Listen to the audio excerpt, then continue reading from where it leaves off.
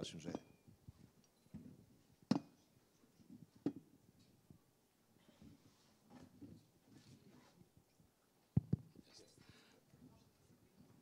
Pa ne, ne moram, ako ovako lepše i da se zahvalim na pozivu i jako mi je drago da sam mogao da nađem vreme da danas budem sa vama ovde i ovo što je rekla gospođa Sonja Lihti je jako značajno. I ja mislim da sve vreme, evo tri godine, pokušam da javnost obavestim da su reforme obrazovanju dugotrajne i da nema prečice i da ako e, želimo da se vratimo na zdravo tlo, moramo da sistem dobro analiziramo, postavimo i da krenemo da radimo.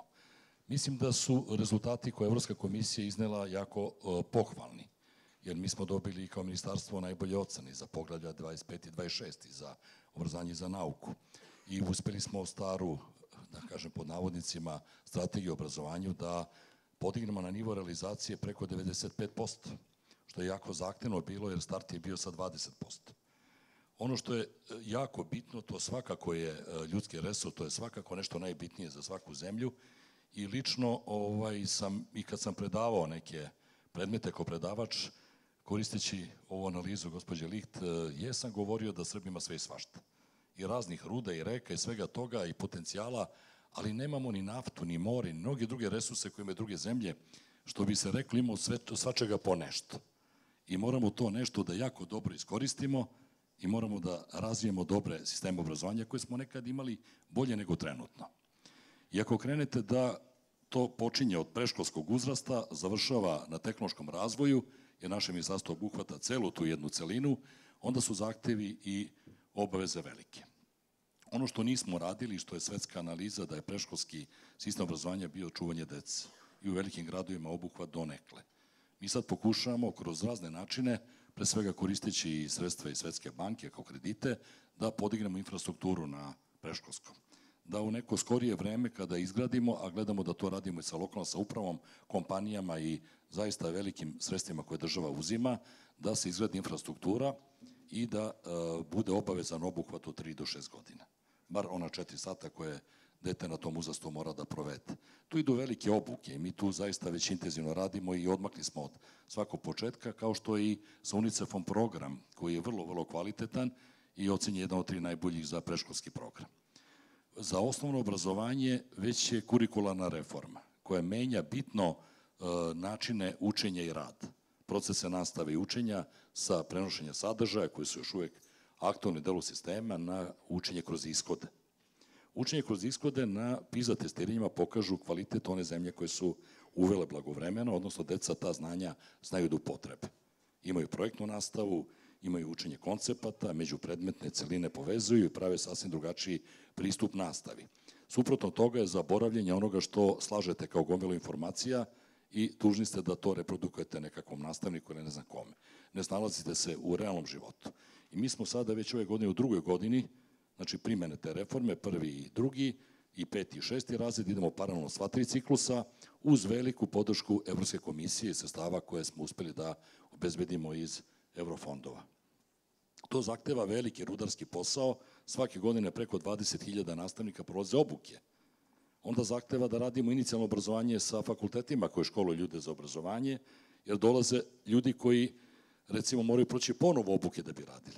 Sve to prati jedan jako intenzivan proces digitalnih obuka, koji su na mnogo nivoa, znači digitalizovali smo jako brzo, bar administraciju u školama, kroz elektronski dnevnik, kroz razne forme, Ove godine smo uspeli da zaokružimo ciklus 10.000 digitalnih učionica, da postavimo mrežu na dosta dobrom osnovu, tu imamo posla partnerski sa Ministarstvom telekomunikacije i na tome se intenzivno radi. To su velika sredstva za Srbiju u ovoj godini, po 35 miliona evra je u Ministarstvu za obrazovanje i toliko za telekomunikacije se uspostavi kvalitetna mreža. Znači, uveli smo digitalne učbenike. Zaista su te sve procedure bile duplo kraće nego zemlje koje su to radile kroz ozbiljne master planove i tako dalje uspeli smo da obučimo ogroman broj nastavnika, po 9,5 hiljada godišnje se obučava za razne nivoje digitalnih kompetencija na nivou osnove škole i već smo u trećoj godini e, obaveznog programiranja koje su naša deca počela da rade među prvima u Evropi i svetu. Pokazalo se da je uspešno, da deca mogu i znaju i programiranje se e, spušta već iduće godine na uzrast mlađih razreda osnovne škole. U sve one druge promene uvili smo nove komponente zdravstvenog obrazovanja, komponente preduzetništva i to je zaista umrežen kroz jedan dobar kurikulum koji je sad u fazi realizacije. Ono što je isto jako važno, radili smo posao mreže. To isto decenijama nije rađen posao, ne samo zbog depopulacije, nego i drugih potreba. Znači, mreža ustanova morala da prati tokove privrede. Mi smo u Beogradu imali 229.000 radnika u metalnoj i mašinskoj industriji i bilo je 11 mašinskih škola. Snimo 19.000 radnika u metalnoj mašinskoj industriji, a broj škola ostao isti. Znači, moramo dati potpuno druge namene, obezbediti druge profile i to je pratila reforma srednjeg obrazovanja koja je u toku. Delimično ona uspešna kroz dualne modele i Srbija radila kao i Španija svoj model dualnu koji odgovara trenutnim uslovima privrede, ali traži jako kvalitetne modele za srednje i mala preduzeća koje čine osnov ekonomije Srbije, tako da nije u potpunosti model koji odgovara zemljama koji ga imaju godinama tipa nemački ili austrijski i švajcarski model, ali koristili smo dragocena iskustva e, kolega iz tih zemalja. Uvili smo neki dan i zakon u Skupštini o dualnim studijama, jer pokušavamo da obezbedimo kadar za industriju na visokom nivou, time oslobađamo i značajna sredstva, jer ti mladi ljudi dobiju platu od prvoga dana studija, za one profile koje sada tržište još ne prepoznaje, mi smatramo da će biti vrlo perspektivni uz stipendiranje i svega onoga što je kvalitetno i gde studenti ostvaraju visok nivo kvaliteta koje god da su studije u pitanju. U srednjem obrazovanju e, je u drugoj godini e, primene reforma gimnazije. Ona je u analizi svega onoga što smo hteli napravila e, više koraka nego što je očekivano. Uvela izbornost, uvela je mogućnost da se kroz gimnaziju mnogo više odlazi na studije, što je stara strategija predviđala, ali nikako nije se pomeralo. Znači, negde se držalo na 20-22%. Uveli smo još dodatne izborne programe, odnosno posebne programe za nadarene za oblast prirodnih nauka. Znači, do ove godine imamo i nadarene za hemiju i biologiju, za čitavu medicinsku oblast, hemijsku i tako dalje, i to je pet gimnazija uspelo da pripremi.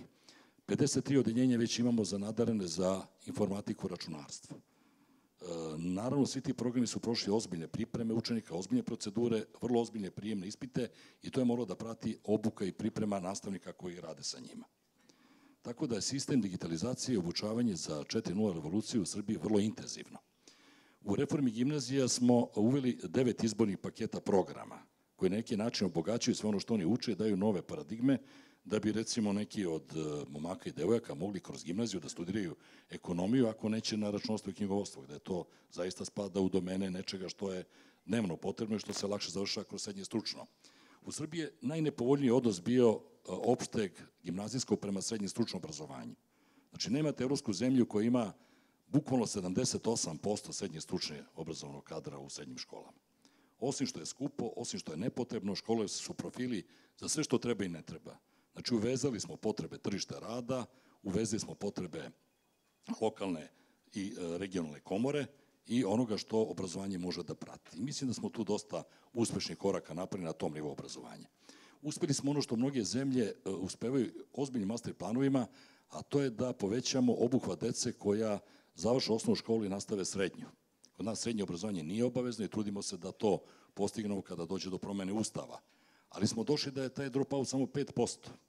Znači, bio je 15% do pre tri godine, ali dobrom inkluzijom romske dece, dobrim dualnim modelima, uspeli smo i sa primjerom kratkih ciklusa. Znači, tako da pratići razna evropska iskustva i modele od Švajcarske do Španije i drugih zemalja, mislim da smo to napravili veliki napredak. Tek očekujemo sa mrežom učeničkih domova koji smo iskoristili CEB1 kredit, vrlo dobro i savršeno, i koliko sutra razgovaramo dalje od CEBU 2, jer nam je potrebna infrastruktura na visokom obrazovanju. Da bi školovali više inženjera, više ljudi za one oblasti koje nam trebaju, naši kapaciteti trenutno su nedovoljni, jer norme za akreditaciju su zahtevne, traže vrlo jasno politiku da imamo prostor za ono što trebamo da radimo i opremu. Velika je borba na sve strane. Za kratko vreme mi moramo da uradimo mnogo na objektima. Objekti su zastareli, zidani su 70. i 80. godina u najboljem slučaju. U njima su instalacije katastrofalne, ne trpe klime, ne trpe ovoliki broj računara. E, ne možete tom brzinom e, napraviti nekoliko hiljada rezova i podići toliko infrastrukture. Mislim da smo za prve tri godine 870 objekata uradili. E, citirat ću opet gospođo Lik, kad kažemo Priboj, mi smo radili letos objekat srednje tehničke i otvorili visoku strukovnu školu zbog FAPA i razvoja i uložili 4 miliona evra samo ta, na, u tom gradu. Znači, grantovi su po 3, po 4 miliona evra i to su značajna sredstva. Ovim tempom treba još nekoliko godina da se sve to na neki način uredi. Počeli smo jedan projekat koji roditelji lako vide i koji građani shvataju šta je to dobro kvalitetno obrazovanje, što je cilj naše reforme, a to je jednosmenski rad u celodnevnom prisustvu dece u školi. Znači, uspeli smo prve godine da obezbedimo resurse za 311 objekata. I to je pokazalo svu, e, sav kvalitet, znači, novih programa, digitalnih modela, preko 50 dodatnih pedagoških sadržaja, gde je svakako mnogo više sporta i stranih jezika i svega onoga što su roditelji plaćali. Uspeli smo formiranjem učeničkih kompanija i đačkih zadruga da zatvorimo onaj lanac o kojem smo pričali kao dobri modela ustanova što smo u zakonu prepoznali. I sada zaista imate zatvorni sistem da škola e, prometom učbenika, razvijem softvera i raznih drugih programa obezbedi sredstva i za pomoć e, siromašnim učenicima, za razmenu i za, recimo, njihove potrebe. E, postali smo Erasmus Plus zemlja. Postali smo zemlja članica CERNA. To su zaista veliki rezultati za kratko vreme, ali jako sam ponosan na timove koje već godinu dana radimo na strategiji obrazovanja i nauke do 30. godine, gde sve ovo što sam sad vama pominjem, nekako pakujemo u tu strategiju, gledamo iskustva dobrih modela po Evropi i svetu i pravimo dobre prijateljske odnose kako u zemlji, tako i sa partnerima po celom svetu. Radili smo reformu strukovnog obrazovanja. Ono je bilo potpuno jedna divlja priča koja nije bila vezana ni sa privredom, ni sa lokalnim potrebama, sa lošom kadrovskom strukturom i sa trošenjem para više nego što treba. Celo naše visoko obrazovanje je bilo bazirano na naplati od studenta.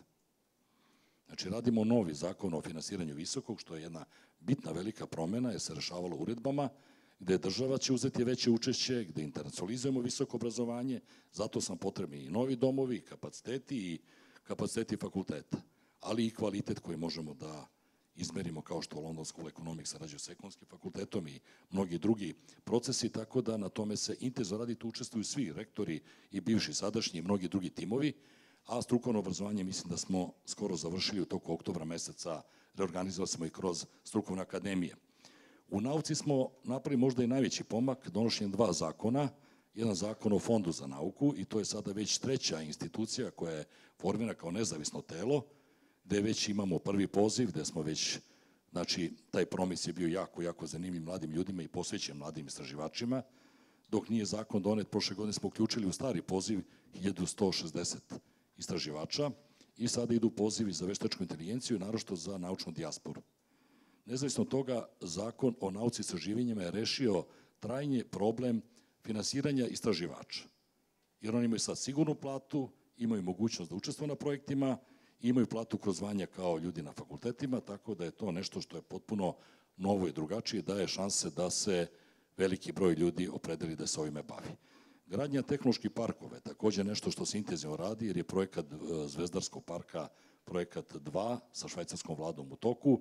Novi Sad se završava za narednih nekoliko meseci i sa opremom, znači oko 29.000 kvadrata, gde će Fakultet tehničke nauke imati svojih 10.000 kvadrata, ostalo je za start-up i spin-off kompanije. Niški se intenzivno završava iduće godine, sad je već završio svoju sivu fazu, a i u manjim gradovima, Pazar, Čačak i tako dalje, otvaraju se ti razni start-up centri i poboljšava se ta infrastruktura. Zaista bi ja mogu ovako narednih sati da, da samo nabrajam šta je sve to. U stvari, sve to nekako se obličuje, postoji i radi se, ali su e, već to sve delovi, elementi strategije obrazovanja nauke do narednog perioda. Izbego sam fraze, društvo zasnovano na znanju, obrazovanje je potreba, kvalitet obrazovanja je još veća i tako dalje, sve to znamo. Ali da bi učinili vidljivim, znači moramo javnost ubediti da je ovo nešto što mora da se prati, da ne može biti izloženo dnevnoj politici, da je interes e, roditelja, učenika i svih u društvu da ovaj kontinuitet mora da se ostvari. Ne zato što je trenutno ministar Šačević, nego zato što je to nešto što prepoznaje ukupna evropska zajednica naroda. Znači, svi naši partneri koji imamo u oblasti i nauke i drugih delova, mi smo e, jako ponosni kao tim što smo uspeli da napravimo mnogo dobre kontakte od Američkog nacionalnog fonda za nauku do japanske države i s njima ćemo imati partnerske odnose već naredne godine. Bilateralne ugovore obnavljamo, podižemo, povećamo broj projekata i to su stvari koje će dati vremenom onaj dobar rezultat da oni najpametniji mladi ljudi imaju razloga da ostanu u državi Srbiji.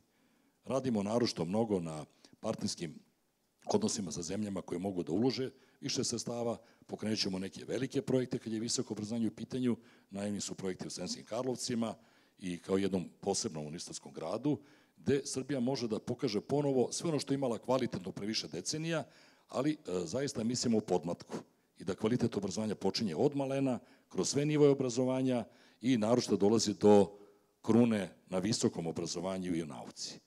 Svakako i tehnološkom razvoju koja to prati i prosleđuje dalje kroz procese proizvodnje. E, meni isto posebna čast da smo vrlo rado e, pozvani u razna društva, da pozive koje mi uputimo ljudima iz naučne zajednice, iz akademske zajednice i svih sfera društva e, prisustvuju tome, prihvataju radom, uglavnom je volonterski, niko nikome ne plaća ništa, uglavnom skupljamo ljude koji bi nešto da urade za državu. I mislim da e, narednih meseci ćemo obavestiti javnost šta sve to srpsko obrazovanje i nauka predviđaju u narodnom ciklusu, ali time držeći se da se mnogo toga realizuje, da je u fazi da je vidljivo i da ide nekim dobrim pravcem. Hvala vam.